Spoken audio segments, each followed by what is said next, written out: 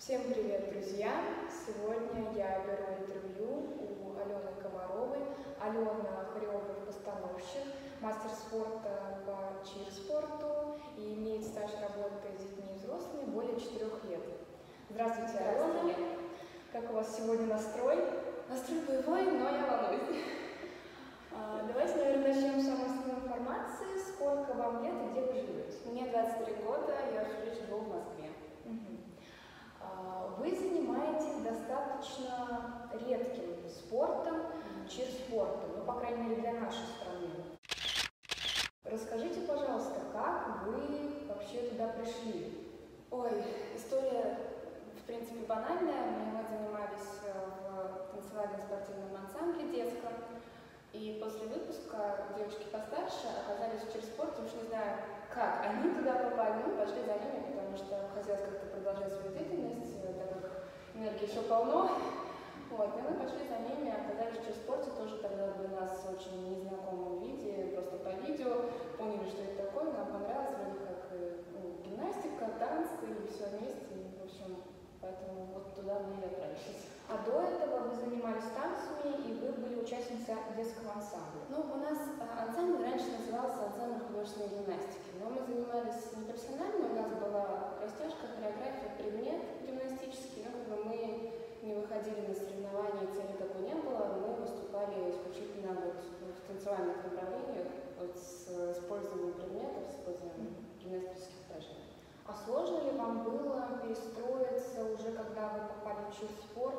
То есть, ну, уже два разных спорта, перестройка же. Перестроиться было очень сложно, потому что гимнастика это все такое нежное, плавное, а именно та номинация фристайл, в которую я попала, там все четко, сильные руки, точки, точки, точки. Я плыла, наверное, около года, просто плавала, я не могла прийти четко в точку, прыгнуть, поэтому да, было сложно. Угу. А по сколько часов у вас проходили тренировки, сколько раз в неделю? Ох, это было давно, я попытаюсь вспомнить. По-моему, э, раза 3-4 в неделю по часа 3. Ну, вроде вот так, не соврать. И с того момента уже начались ваши разряды и крупные старты. А, крупные старты, да. Тогда мы уже, ну, мой первый крупный старт, потому что у нас в ансамбле такого не было, такого понятия. Был чемпионат Москвы, который я с командой сразу мы выиграли, и это было очень здорово.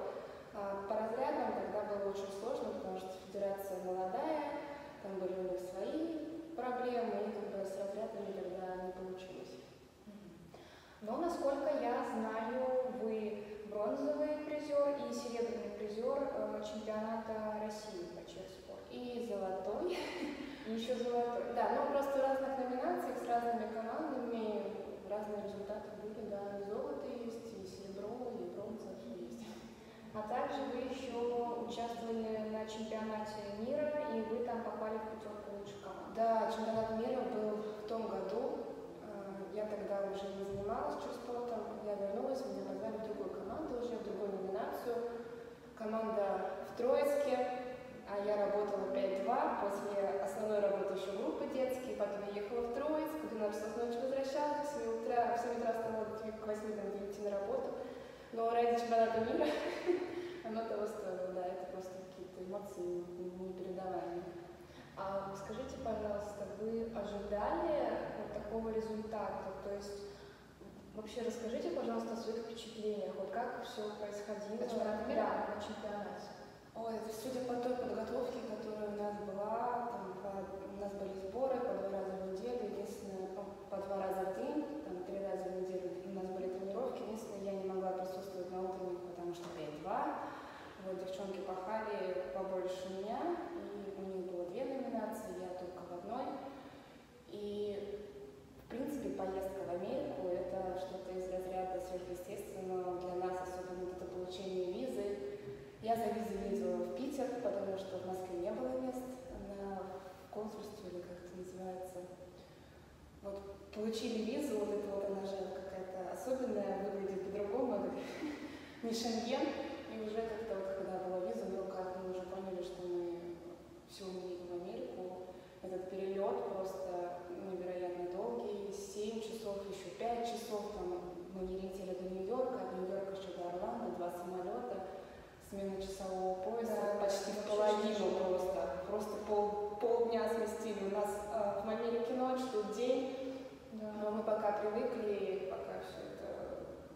вошло в норму. Но чемпионат мира – это другой уровень вообще, чем у нас в России. У нас все-таки это такой вид спорта, который, о котором немногие знают, и о котором до сих пор представляют, что девочки с помпонами прыгают там среди матча периодически. То есть, кому я говорю, что я спортом как бы занимаюсь, вот, никто не понимает. А там уже, ну, в Америке все спорта, и все все прекрасно понимают, что чемпионат мира – это событие страны, а, ну, как бы в Америке именно. У нас это где-то вот проходит на стадионе, и никто об этом не знает. А там это прям вот все с афишами, все нормально, уровень, организация и какие-то эмоции, которые вот от этой площадки, которую ты видел до этого в Инстаграме просто по постам, а тут ты сам здесь, их вот эта арена, комплекс, который там есть, там стоит шар, а, с логотипом арены, и вот это вот этот шар, это все мечтают фоткать с этим шаром. И первое, что я сделала, когда мы туда попали, естественно, сфоткались с этим шаром, потому что очень всегда этого хотелось. И, наверное, это самое волнительное, самое волнительное присутствие за ну, кулисами, если можно так сказать, что ты понимаешь, что ты выходишь на чемпионат мира, ты представляешь свою страну, никогда такого не было, ну, как бы российское соревнование это не то, и, конечно, просто эмоции, то все падает э, внутри, то поднимается, ты стоишь плакать хочется. И когда ты выходишь, и диктор по-английски, типа Тим, Раша, в общем, ну, прям там атмосфера другая, даже на трибунах, там все, ну, все болеют. Э, американцы, которые кричат не только за себя. Ну, у нас многие команды болеют только за свои команды, либо за команды своего города, а там все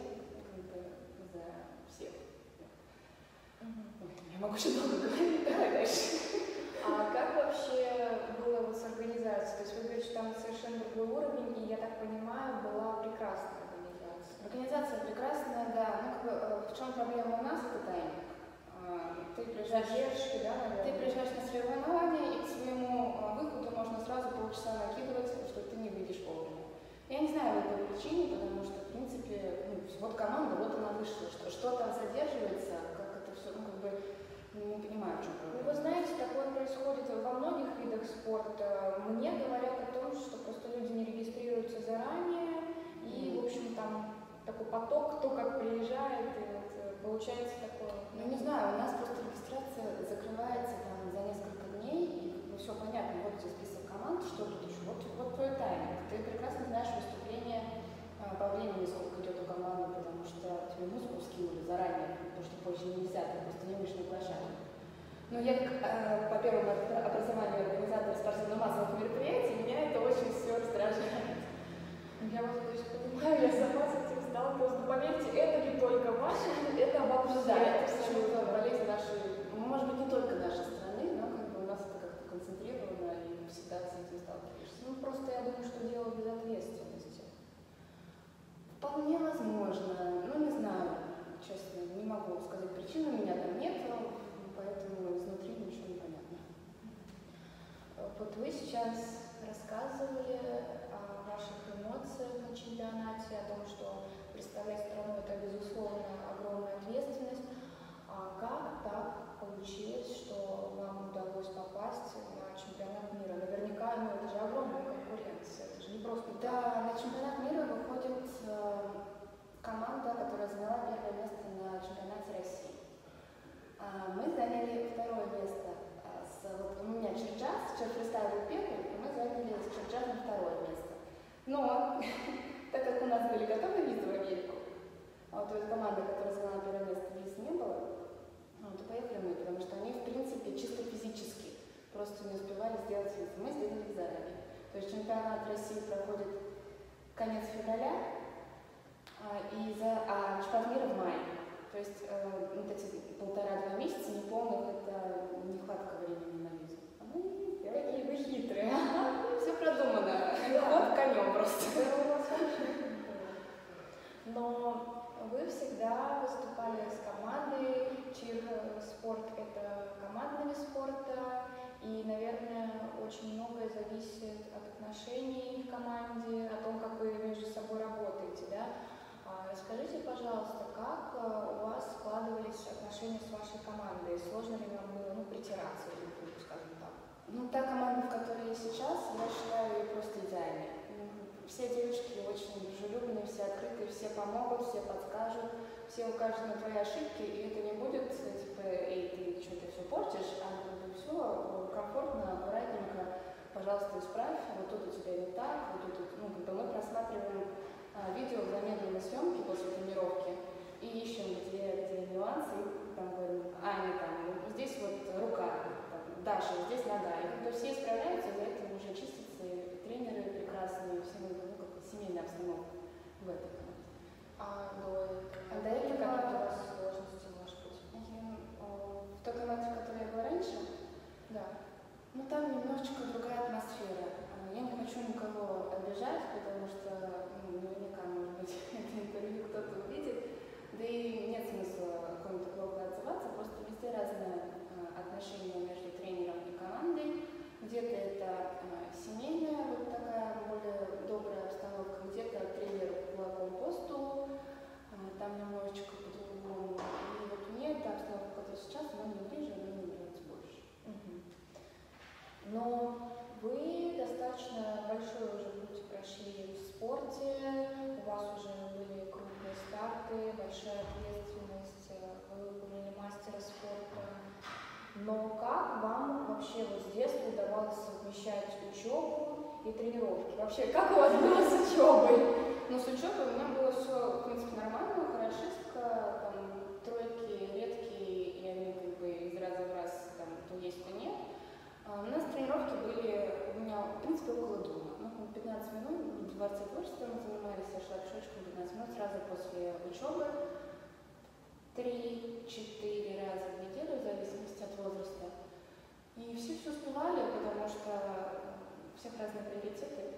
А В школе к этому спокойно относились, я постоянно выступала где-то во время уроков, и ну, все прекрасно понимали, я успевала выступать еще и в школе, поэтому э, иногда мне оценочки были повыше. Ай, да ты же танцевала вчера на 8 марта. Я говорю, да, пятерочку я капли.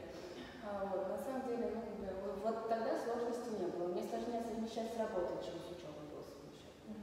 А вот э, учителя, получается, они хорошо относились.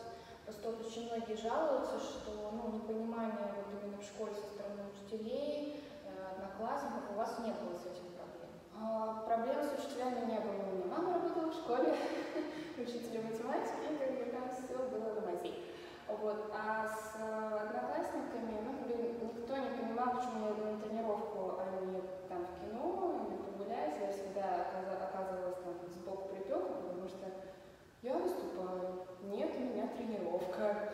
И какие-то экскурсии я очень редко посещала, потому что у меня тренировка. Ну, в общем, это вот э, фраза стандартная на протяжении всей моей учебы, учебы в школе.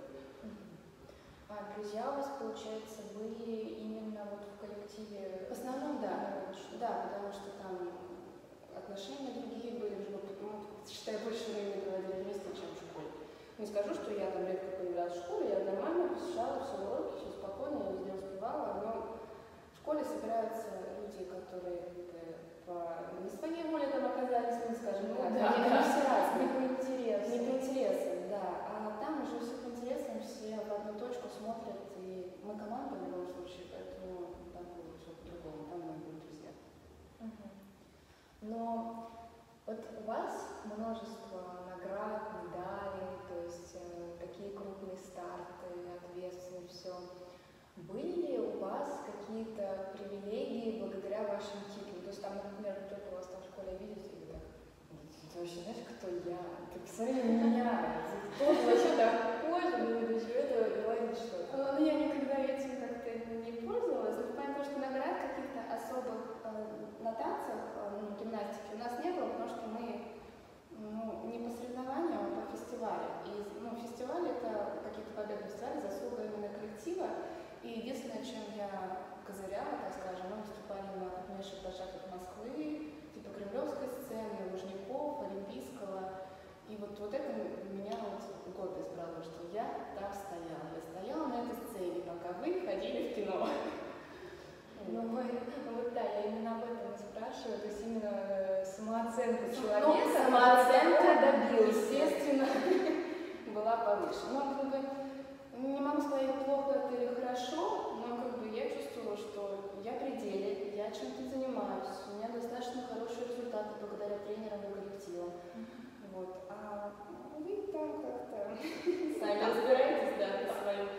такое кино.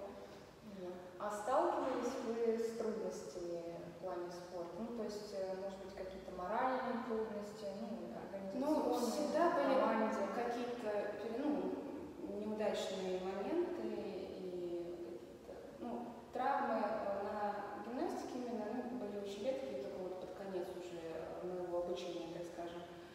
А, были проблемы с тренерами,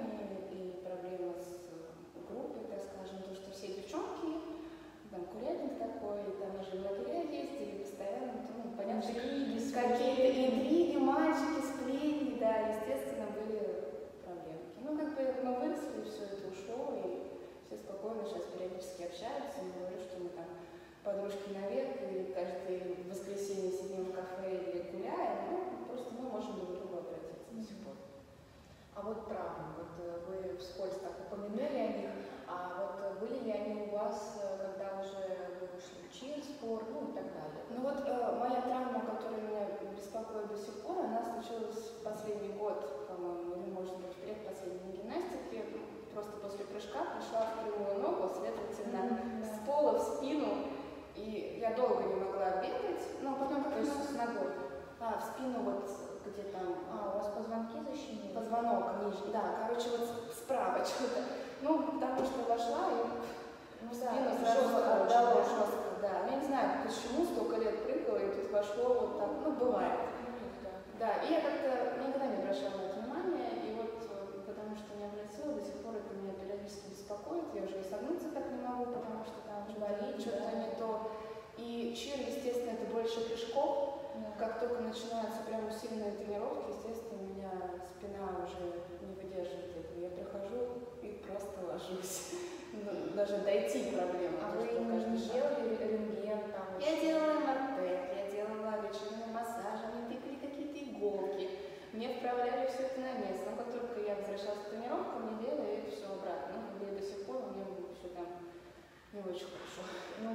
планируете сейчас пока ну, завершать именно? А, спортивный. еще год точно не планирую. Ну, каждый год, там где-нибудь уже под конец сезона думаешь, все, я уже старая, да.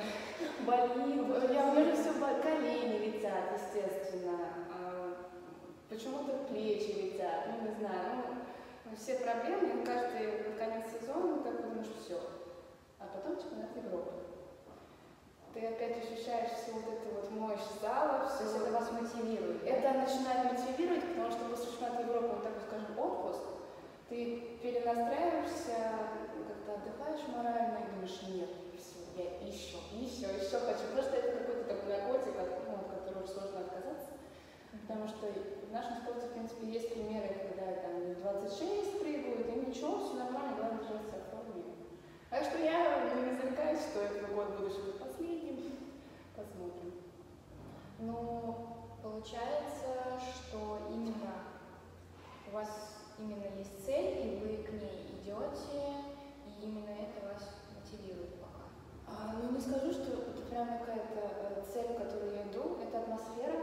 которая мне нравится.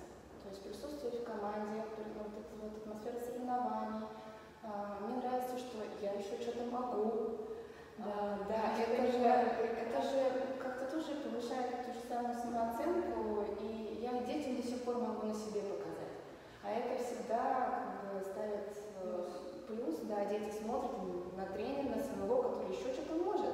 Значит, я так хочу, я так смогу. Ну, мне, по крайней мере.